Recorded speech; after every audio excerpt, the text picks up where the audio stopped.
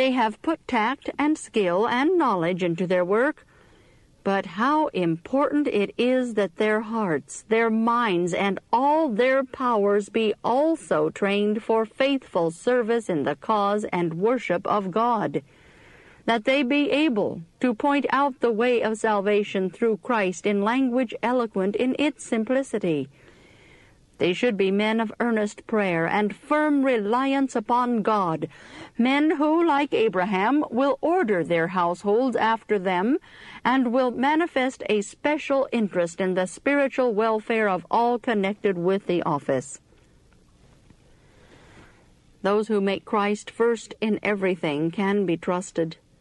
They will not be self-confident, nor will they sink their religious interest in their business. Has God entrusted men with sacred responsibilities? Then he would have them feel their own weakness and their dependence upon him. It is unsafe for men to lean to their own understanding. Therefore they should daily seek strength and wisdom from above, God should be in all their thoughts, then all the wiles and subtleties of the old serpent cannot betray them into sinful neglect of duty. They will meet the adversary with the simple weapon that Christ used, it is written, or will repulse them with, Get thee behind me, Satan. In the morning to watch and pray, Jesus has indicated the only safe course. There is need of watchfulness. Our own hearts are deceitful. We are compassed with the weaknesses and frailties of humanity, and Satan is intent to destroy. We may be off our guard, but our adversary is never idle.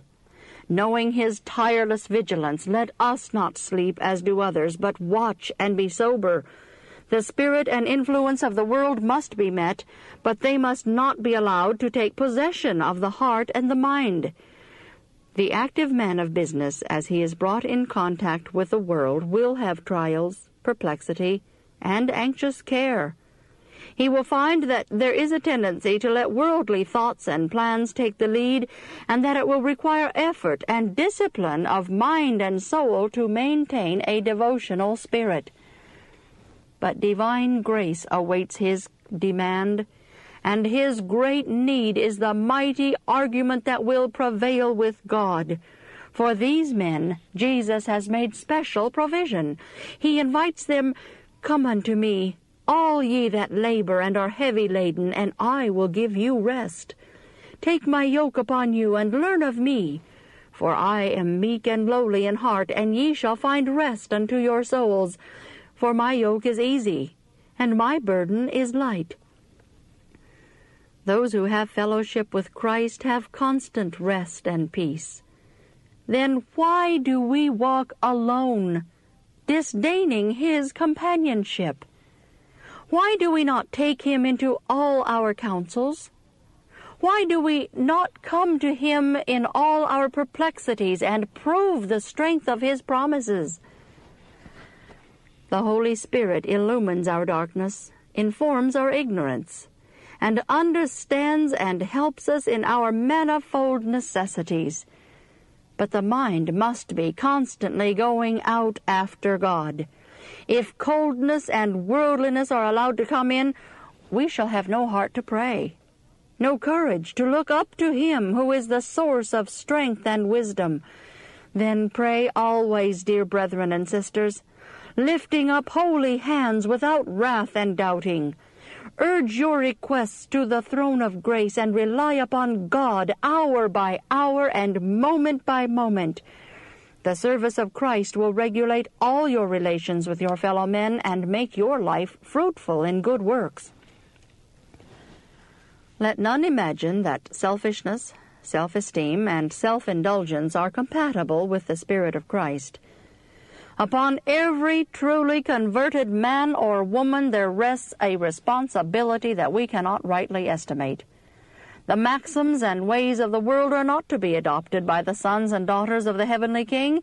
Beloved, now are we the sons of God, and it doth not yet appear what we shall be, but we know that when he shall appear, we shall be like him For we shall see him as he is, and every man that hath this hope in him purifieth himself, even as he is pure. But the world know us not, because they knew not Christ, our Master. Business managers are needed in the review office who will correctly represent Jesus and the plan of salvation. God is displeased when they use all their powers in worldly enterprises or even in business relating to the publishing work and do nothing for the strengthening of His church, the upbuilding of His kingdom. To labor for God and for the salvation of souls is the highest and noblest calling that men ever had or ever can have. The losses and gains in this business are of great importance for the results do not end with this life, but reach over into eternity. Brethren, whatever business you engage in, whatever department of the work is allotted to you, carry your religion with you. God and heaven should not be left out of the experience and the life work. The workers in this cause should guard against becoming one-sided men and letting only the worldly element in their characters appear. In the past, there have been decided failures on the part of men connected with the office. They have not been spiritually minded, and their influence has not tended to lead toward the heavenly Canaan, but backward toward Egypt. Brother P. has been blessed with abilities which, if consecrated to God, would enable him to do great good. He has a quick mind. He understands the theory of the truth and the claims of God's law, but he has not learned in the school of Christ the meekness and lowliness that would make him a safe man to stand in a position of trust. He has been weighed in the balances of the sanctuary and found wanting. He has had great light in warnings and reproofs, but he has not given heed to them. He has not even seen the necessity of changing his course of action. His example before those laboring in the office has not been consistent with his profession. He has not manifested a steadfast purpose. He has been a boyish man, and his influence has had a tendency to lead away from Christ toward conformity to the world. The cross of Christ has been presented to Brother P., but he has turned away from it, for it involves shame and reproach rather than the honor and praise of the world. Again and again Jesus has called, Take up the cross and follow me, so shall ye be my disciple. But other voices have been calling in the direction of worldly pride and ambition, and he has listened to these voices because their spirit is more pleasing to the natural heart.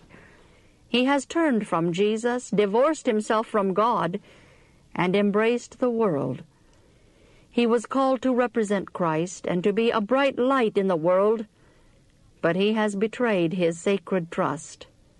The world interposes between his soul and Jesus, and he has had a worldly experience when he should have been gaining one of an entirely opposite character. He has been decidedly worldly in his tastes and opinions, and consequently has been unable to comprehend spiritual things. Brother P.'s success in the ministry and also in his position of trust in the office depended upon the character he should maintain. Painstaking, persevering effort was needed that in going out and coming in before his fellow laborers, no wrong example should be set the plan he should have adopted, the course of action he should have pursued is plainly marked out in the Word of God. Had he taken heed to that word, it would have been a light to his path, guiding his inexperienced feet into a safe way. Testimonies of the Spirit of God have been sent to him again and again, showing him where he was diverging from the highway cast up for the ransomed of the Lord to walk in, and warning and entreating him to change his course of action. But his own ways have seemed right in his eyes, and he has followed inclination, not heeding the light given him. He was not a safe counselor. He was not a safe man in the office, neither was he a safe shepherd, for he would lead the sheep astray. He has preached excellent discourses, but out of the desk he has not carried out the principles he has preached. This kind of work is an offense to God. Brother P.'s union with the world has proved a snare to himself and to others. Oh, how many stumble over such lives as his. They get the impression that when they take the first steps in conversion, repentance, faith, and baptism, this is all that is required of them. But this is a fatal error. The arduous struggle for conquest over self, for holiness and heaven, is a lifelong struggle. There is no release in this war. The effort must be continuous and persevering.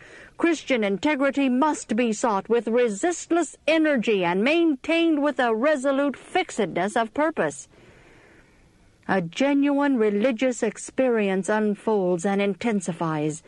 Continual advancement, increasing knowledge and power in the Word of God is the natural result of a vital connection with God. The light of holy love will grow brighter and brighter unto the perfect day. It was Brother P.'s privilege to have an experience such as this, but he has not had the oil of grace in his vessel with his lamp, and his light has been growing dim. If he does not make a decided change soon, he will be where no warnings or entreaties will ever reach him. His light will go out in darkness, and he will be left in despair. Chapter 27 Importance of Economy Brother R has good business ability for some branches of the work which would enable him to serve the office acceptably, but he is not educated and disciplined himself to be a thorough, efficient manager. Under his charge there have been grave neglects. A disorderly, disorganized state of things has existed which should be promptly corrected. There are many little matters connected with his work that have not received attention, and as a consequence, there are leaks. Losses and wastes are allowed that might be avoided. I have passed through the office and have been shown how the angels of God look upon the work done in the various rooms. In some, the condition of things is better than in others, but in all there are wrongs that might be remedied. Loss, loss is seen in many departments. The reckless way that many work results in loss to the office and is an offense to God. It is sad that it should be thus. Jesus has given us lessons in economy. Gather up the fragments, he says, that nothing be lost. It would have been better not to undertake so many large enterprises if by this means so many small matters must be left without attention, for the little things are like small screws that keep the machinery from falling to pieces. The Word of God explains duty. It gives the rule of faithful service, he that is faithful in that which is least is faithful also in much, and he that is unjust in the least is unjust also in much. I have been shown that in addition to the help now in the office, competent men should be employed to assist in the management of the different departments of the work. Men should be employed who have experience in business and who are wise managers. It would have been better years ago to have employed men who were thorough managers, men who would have taught thoroughness, promptness, and economy, even if double the wages that has been paid to foremen had been necessary. Brother R is deficient here. He has not a happy way of correcting evils. He undertakes to do this, but very many things are entirely neglected that ought to be reformed at once. The office has lacked a caretaking economist, a thorough businessman. There is three times as much lost as would be required to pay for the very best talent and experience in this work. Very much is lost for want of a competent person, one who is efficient, apt, and practical to oversee the different departments of the work. One is needed who is a practical printer and is acquainted with every part of the work, There are some who understand printing but utterly fail in generalship. Others do the best they can, but they are yet inexperienced and do not understand the publishing work.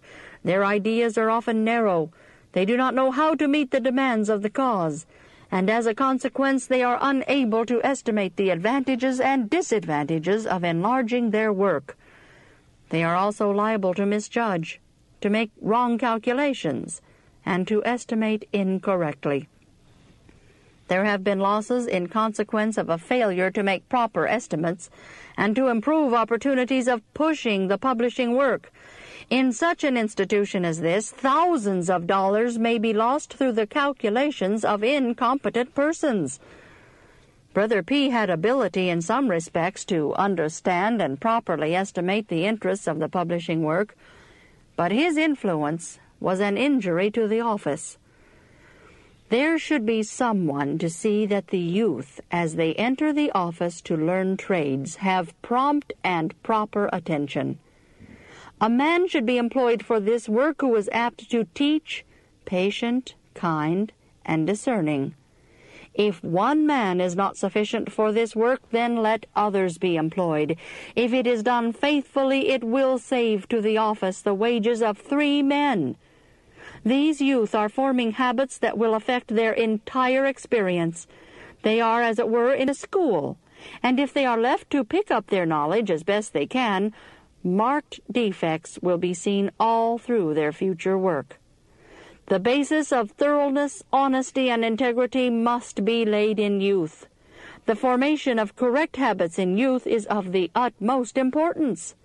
If instead of being trained to obedience to rules and regulations, and to habits of punctuality, thoroughness, neatness, order, and economy, they are allowed to form loose, lax habits, they will be liable to retain these bad habits all through life.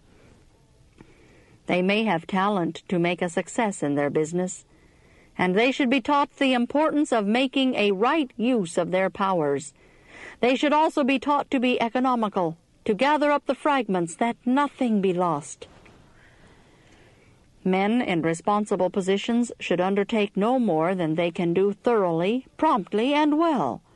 For if they would have those under their care form right habits, they must set a right example. A great responsibility rests upon these leading men as to the mold of character that by their principles and their manner of working they are giving to the youth. They should consider that by the instruction they are giving, both in regard to their work and in the way of religious education, they are helping these youth to form character. Progress is the watchword. The youth should be taught to aim at perfection in whatever branch of labor they undertake. If there are persons at the head of any of the rooms who are not thorough, who are not economists, who are not diligent in the use of their time and careful of their influence, they mold others in the same way. If these do not change after being admonished, they should be removed and more competent persons secured, even if it is necessary to try again and again. The workers ought to be far more efficient and faithful than they are at the present time. The first impressions, the first discipline of these youthful workers should be of the very highest order, for their characters are being molded for time and for eternity. Let those who have charge of them remember that they have a great and solemn responsibility.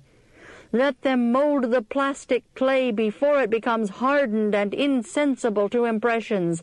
Let them train the sapling ere it becomes a gnarled and tangled oak. Let them direct the course of the rivulet ere it becomes a swollen river. If they are left to choose their own boarding house and their own companions, some will choose those that are good, and others will choose improper associations. If the religious element is not mingled with their education, they will become easy subjects of temptation, and their characters will be liable to become warped and one-sided. The youth who show respect for sacred and holy things learn these lessons under the home roof. Before the world has placed upon the soul its mark, the image of sin, deceit, and dishonesty. Love to God is learned at the family altar, of the father and mother in very babyhood. The want of a religious influence is sadly felt in the office. There should be greater devotion, more spirituality, more practical religion. Missionary work done here by God-fearing men and women would be attended with the very best results. Brother R's course is not well-pleasing to God. A man in his position should be a man of devotion. He should be among the first in religious matters. His only safety is in maintaining a living connection with God and feeling his dependence upon Him. Without this, he will not do justice to his position. Neither will he exert a right influence in the office and over those with whom his business brings him in contact. I have also seen that there should be a close investigation of the manner of dealing in the office, both with brethren and with unbelievers. Benevolence, purity, truth, and peace are the fruits that should be seen there. Motives and actions should be closely examined and compared with the law of God. For this law is the only infallible rule by which to regulate the conduct, the only reliable code of honor between man and man. Chapter 28 Unity of the Work The Lord would have union among those who manage his work in different parts of the field. Those who manage his work on the Pacific coast and those who are engaged in his work on the east side of the Rocky Mountains should be of the same mind and judgment, one in heart, in plans, and in action. He would not have those at either office think it a virtue to differ with their brethren at the other publishing house. There should be a comparing of notes, an interchange of plans and ideas, and if any improvements are suggested in either office, let the managers consider the proposition and adopt improved plans and methods. In both publishing houses, there are very great improvements to be made, and the managers have much to learn. And the lesson which will bear its mark most decidedly and happily in the advancement of the work is to lean less to their own understanding and to learn more of the meekness and lowliness of Christ. Let not those at either office be so egotistical, so unlike Christ, as to maintain their own plans for the gratification of having their own way, irrespective of consequences. Those connected with our office of publication at Battle Creek are not what they should be nor what they might be. They think their tastes, habits, and opinions are correct, they are in constant danger of becoming narrow in their ideas and jealous of the Pacific press, and of standing in an attitude to criticize and have feelings of superiority. This feeling is suffered to grow and to mar and to hinder their own interests, and also the interests of the work on the Pacific coast, all because selfish feelings control and prevent clear discernment as to what is for their own good and for the advancement and upbuilding of the cause of God. This sectional feeling is contrary to the Spirit of Christ. God is displeased with it. He would have every particle of it overcome. The cause is one. The vineyard is one great field, with God's servants employed in various parts of the work. There should be no aim but to work disinterestedly to warn the careless and to save the lost. The men connected with the work of God in the office, the sanitarium, and the college can be accounted safe men only so far as they assimilate to the character of Christ. But many have inherited traits of character that in no way represent the divine model there are many who have some defect of character received as a birthright, which they have not overcome, but have cherished as though it were fine gold, and brought with them into their religious experience. In many cases, these traits are retained through the entire life. For a time, no particular harm may be seen to result from them, but the leaven is at work, and when a favorable opportunity arrives, the evil manifests itself. Some of these men who have marked deformities of character have strong, decided opinions and are unyielding when it would be Christ-like to yield to others, whose love for the cause of truth is just as deep as their own. Such persons need to cultivate opposite traits of character, and to learn to esteem others better than themselves. When they become connected with an important enterprise, where great designs are to be worked out, they should be careful lest their own peculiar ideas and special traits of character have an unfavorable influence on its development. The Lord saw the danger that would result from one man's mind and judgment controlling decisions and working out plans, and in His inspired word we are commanded to be subject one to another, and to esteem others better than ourselves. When plans are to be laid that will affect the cause of God, they should be brought before a council composed of chosen men of experience. For harmony of effort is essential in all these enterprises. Men of various temperaments and defective characters can see the faults of others, but do not seem to have a knowledge of their own errors, and if left to carry out their own plans without consultation with others, they would make sad mistakes.